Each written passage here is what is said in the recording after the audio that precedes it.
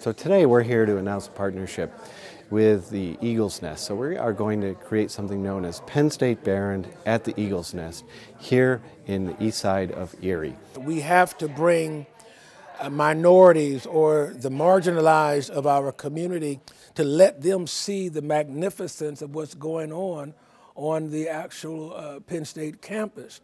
But yet, realistically, recognizing that the marginalized of our community, they're not going to take that trek to Penn State. So we have to do the next best thing. Let's bring Penn State to them. It means starting next month in January 2023, we're going to be delivering programming here at the Eagle's Nest. What sort of programming, you ask? Uh, financial literacy is one example I like to point to. 3D printing or digital media arts and technology program. So much that we can do. Uh, this is just the start of it.